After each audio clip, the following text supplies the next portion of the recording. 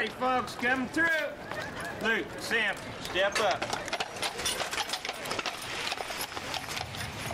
Regarding what the Republic of Texas was, in 1836, a number of people who had moved here from North America, at the invitation of the Mexican government to settle here, they were being chased out by a new president of Mexico who was also general of the armies there.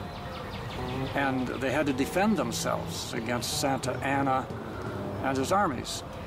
That lasted for about a year, but finally, uh, General Sam Houston, leading these volunteers, defeated Santa Anna at a place called San Jacinto, and in defeating the president and general of Mexico, they were able to force him to sign a treaty. The treaty formed a new nation. It said that he would never again come across the uh, Rio Grande River to bother the people in Texas anymore. The treaty also said that the land of Texas belonged to the people who lived on the land of Texas forever. And that's a treaty that is perpetual. It doesn't go away. So what is the Republic of Texas now? It is the land of Texas. The land of Texas does not belong to the U.S. It doesn't belong to the federal government. It belongs to the people who live here. And there is no federal land. If they want land in Texas, they have to lease it from us for their military bases and so on. Okay, going hot.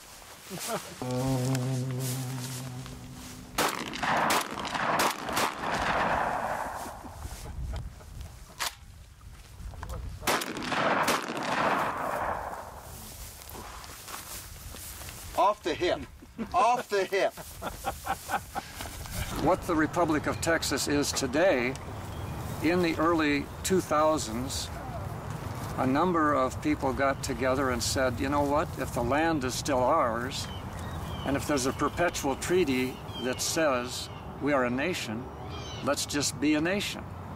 And so they elected, but with a vote from the people, uh, a president, vice president, secretary of state, a Congress, a Supreme Court justice, and all of those are still occupied and manned to this day. In fact, that government meets every month on the second Saturday of the month, and the people of Texas who are interested come to those meetings. That's what it is today. The purpose, the goal of the Republic of Texas and what we're doing is to restore and to preserve all the freedoms and all the sovereign rights that were won in 1836 at the Battle of San Jacinto when that treaty was signed. In other words, we're here to make sure that the people get to exercise those rights, even though an overreaching federal government of the U.S. keeps trying to take away more and more of the rights and freedoms. We're here to restore them and to make sure they're preserved. Motion. Do I have a second? Wayne Williams, Missouri County, I second it. I drove here from uh, Lake Jackson, Texas. It's uh, about 240 miles. Uh, I had to wake up early, uh, but I wanted to come. I went last month to this meeting, and what I see are some people that are uh, concerned about where our country's heading, and uh, and they they look for the alternative where there's a lot of talk about secession in this country because we see tyranny in Washington. We see even our own uh, elected uh, representatives wind up uh, getting elected because uh, they're people with wealth that are paying for their elections. Patterson.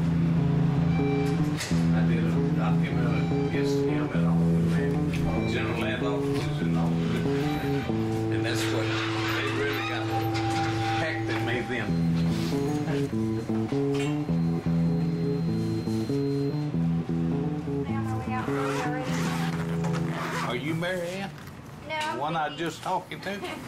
No, Mary Ann's in the I back. told her I was gonna leave this for Mr. Patterson. Okay. Okay? Okay. He's not. He's not here on Friday afternoons, right? she asked me, said, "Well, if, if you was him, would you be here on Friday afternoon?" I don't know about that.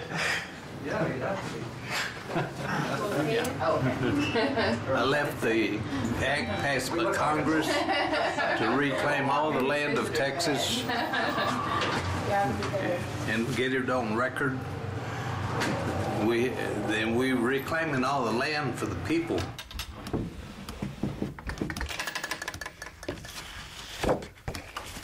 This is a map of the original boundaries from 1836 of the nation called the Republic of Texas. Here's a map of the state of Texas today. And all of the mountains, all the way up to here, which is Wyoming, Colorado, New Mexico, Kansas, and Oklahoma, that were part of the nation then, have been stripped away because this is the northern limit of Texas, which is somewhere in here. I think I'm going to make a stop See, I've- here before we uh, leave the building. I've served these papers to all the different governors, to the Washington D.C., to the Bureau of Land Management. So what I'm doing is I'm leaving him a copy because I didn't serve him a copy. I just served all the top people. Do you, do you have any uh, uh, any money, real money, Yeah, with you? sure. Hold your hands out. I don't know. I might want to buy some real money. Okay. So this is uh, That's copper, pure copper. this is copper. That has a face value of two, you'll see on the other side. Okay. That's 99.9% pure silver. That one's in a airtight, so it won't tarnish. Yeah. How much is this worth? What? Oh, Thirty-five. that, that one goes for about $35. Okay. Can I get a couple of these things from you? Sure. I help design these. I draw them first and then I have an artist. Oh, the- okay. Cool. Why don't you just uh, give me 40 and the eggs and the chicken inside? Okay. okay. Great. I'll be glad to then, do that. then we're bartering. That's fine. I like that. I like that. I like that.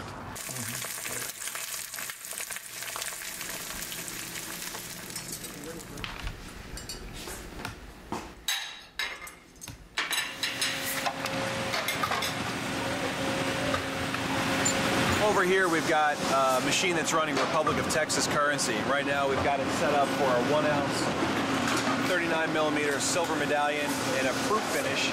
And so you can see the Republic of Texas star on one side with an outline of the original uh, Texas surf, uh, map. And on the other side, one nation under one God with a uh, great sculpt of the Alamo there. Uh, we started do, doing these all the way back in 2009. We've made hundreds of thousands of pieces of this so far.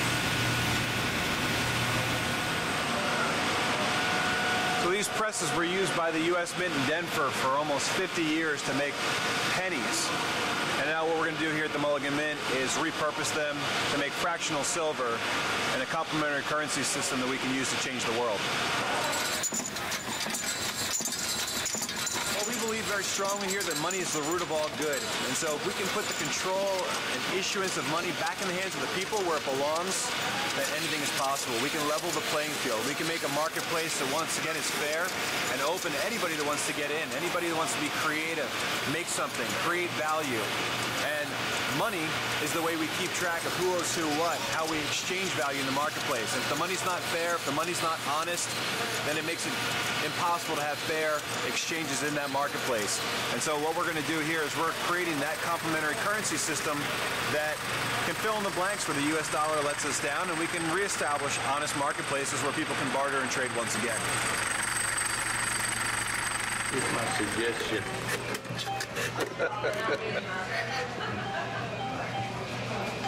says, give me a suggestion, so there's my suggestion. There's your suggestion.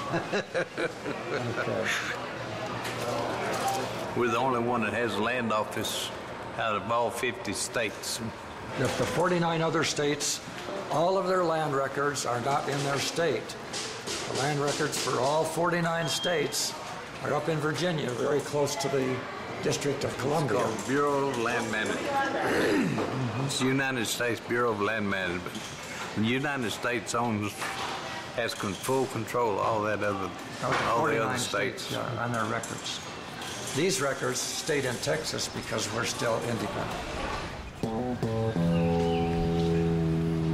Then the U.S. Senate ratified a treaty with Texas for friendship, commerce, and navigation in 1843, but refused to ratify a treaty of annexation a year later in 1844. That December outgoing President John Tyler proposed that Texas be annexed by a joint resolution of the U.S. Congress. That passed in February of 45, and November, Texas voters approved annexation. In 1861, the people discovered the United States wasn't going to do what they said they was going to do. So they elected, uh, formed another, a new constitution and took another vote whether to secede or not. The United States declared the, the vote and the Constitution null and void. But the, what the people didn't understand is Texas never ceded its lands, and they were and they were taking a vote to secede, and you cannot secede from something you never ceded. Jane, Jane's a mighty hutter. Uh, anybody after her chickens, man, they're dead. They're dead. Uh, you don't, you don't go after Jane's chickens.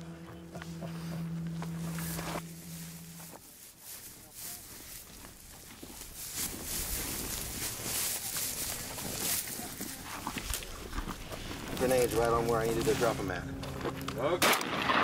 Oh, dead on. Do another. Do the next one. Do the next one. Got to fire off another one. Send me Do, do both of them. Do, do all three of them. Just bam, bam, bam. All three of them. There's another one. Perfect. Perfect. Okay, y'all happy now? Yes. The kind of governments we have now are like a parasite. A parasite is a living thing, but it lives off of the lives of others. There are parasites on cows, there are parasites on trees. Government has become a parasite, and there are as many people dependent on the government in the United States as there are that are not dependent on the government. So it's a kind of a 50 50 deal. Well, we can't support that other half by our labor because government doesn't produce anything of value. It only takes what's of value and gives it to people who work for the government or who are dependent on government. In the Republic of Texas, that can't happen.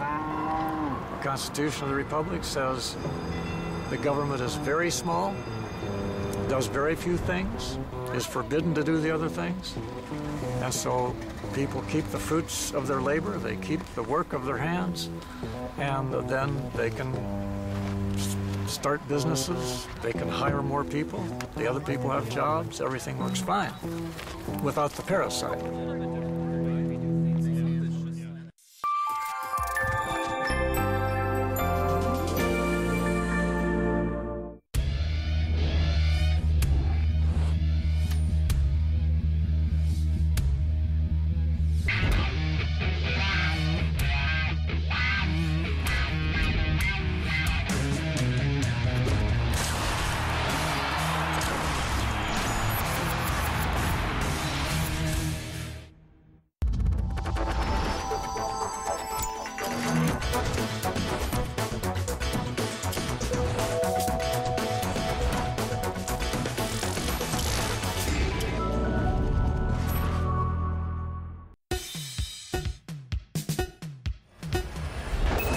Download the official RT application to your cell phone. Choose your language, stream quality, and enjoy your favorites from RT. If you're away from your television, well, it just doesn't matter.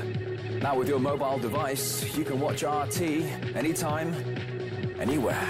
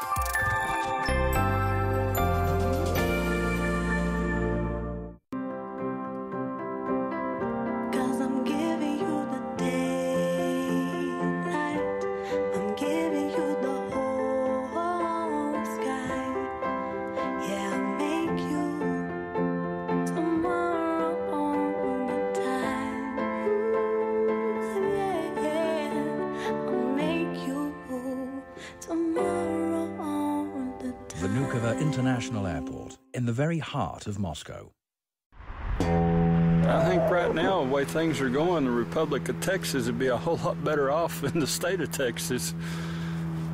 Texas has got its own electrical grid. It's got all the oil and gas and everything it needs.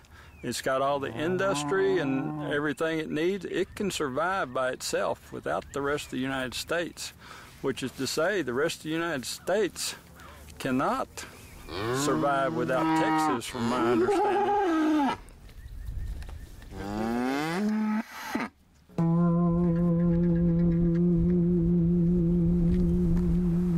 Most people around this country or around the whole world are thinking oil wells when they hear about Texas.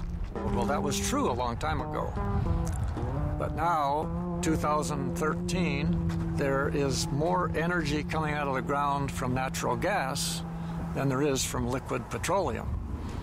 And there's enough natural gas discovered already to fuel Texas for the next hundred years or longer. This plant behind us is one of the plants that's capable of burning gas. Yeah, because there is so much gas and oil and coal and wind and solar available in Texas, meaning we have a lot more sunny days.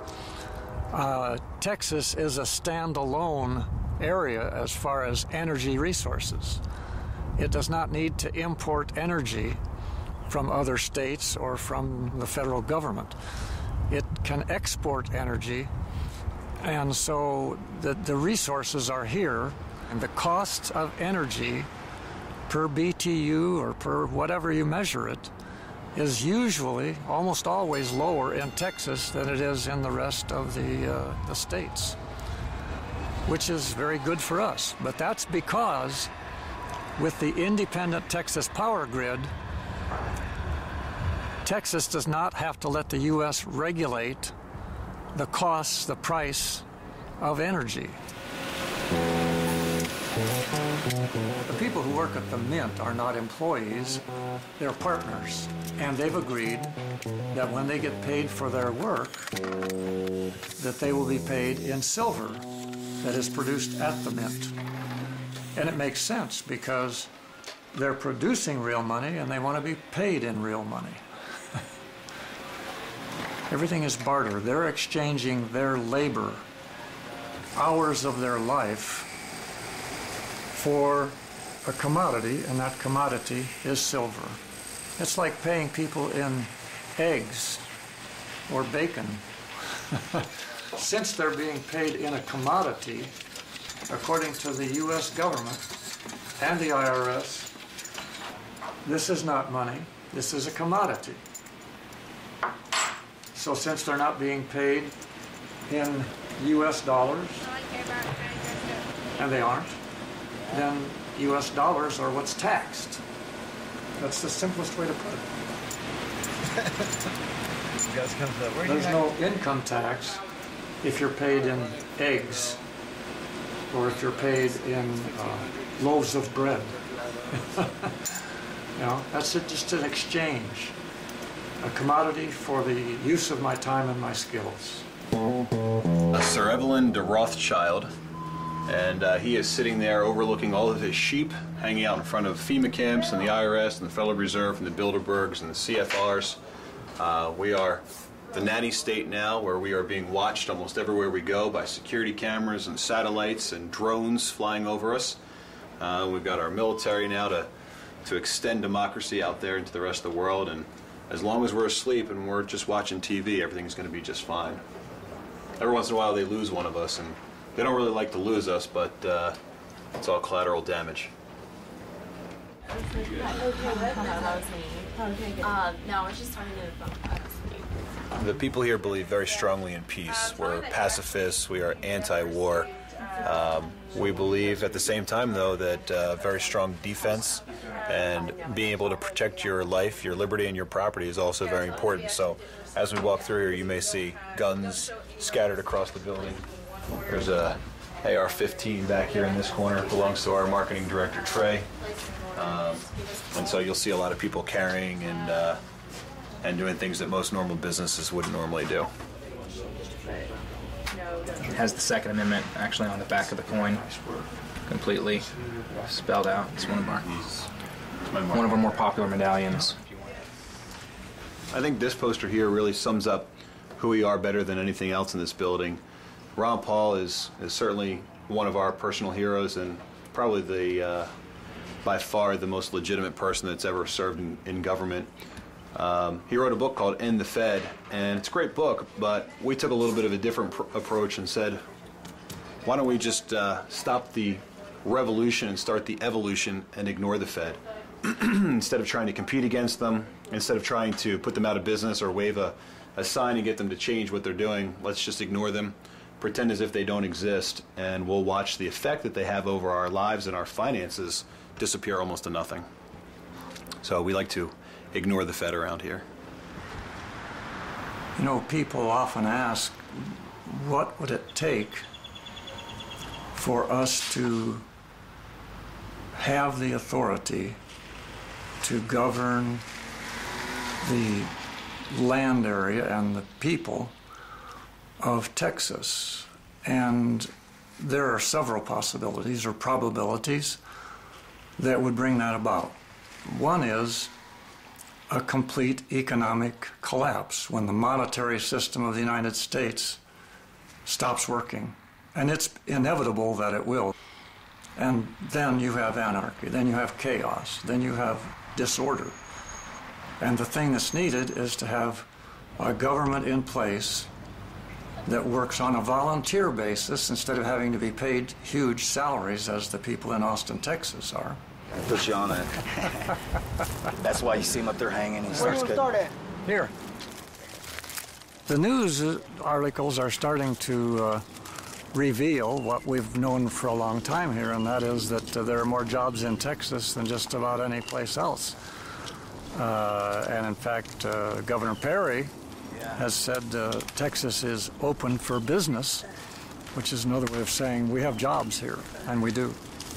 And the question is, why does Texas have plenty of jobs when there are whole states that uh, just can't create jobs and have so many people, more people going on unemployment than ever?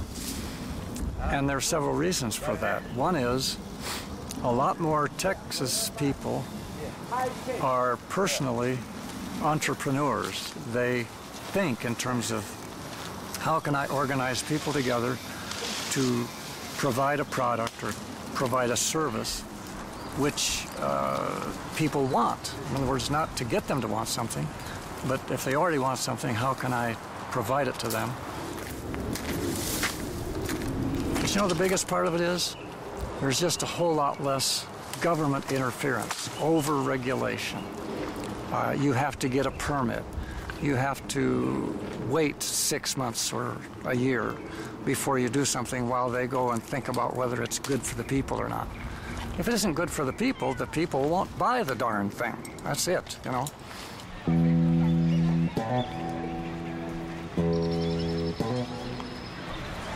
The United States flag and the Texas flag flies at the same height. We're the only state, and we're the republic that can do that. The other flags have to fly below. And whatever is on top of that, the finial that's on top of that flag, sets precedence. If it's a ball, it's a military flag. If it's an eagle, it's a presidential flag. And one of these days, I'm going to slip up there and put a McDonald hamburger on top of that American flag.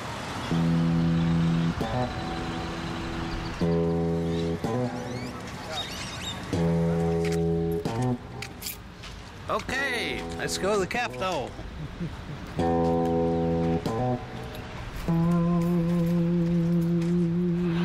that statue up yonder? It's two feet higher than Washington, D.C. statue. Everything in Texas is bigger. okay? Always. We got got our own land, we got our own flags, we got our own money, and we got a Capitol building higher than Washington, D.C. that ain't bad.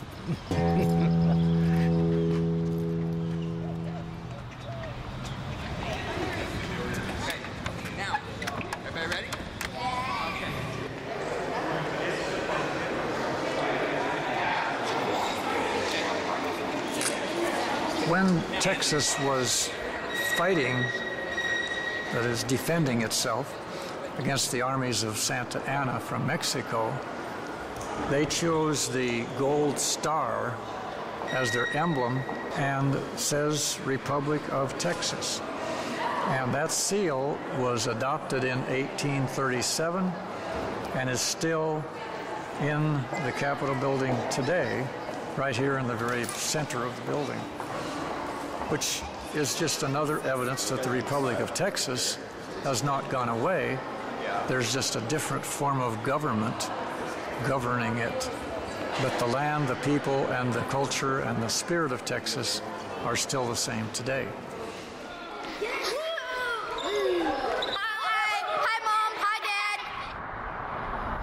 As an elected senator in the Texas Republic, I've had to give thought to whether I even wanted to run for that office. And during all of that, I decided that it was worth doing for several reasons. I have children and grandchildren, and I guess pretty soon I'll have great grandchildren. And I want them to grow up and live in a place that's truly free, and that requires a nation that's independent, where the government is limited. It's limited in the amount of money it can spend, or borrow, or print, or coin, or whatever. So I saw a chance for me to play a part of having a clear vision, putting it in words, putting it on paper, and creating the base, the foundation on which a free nation could live again, a free, independent Texas.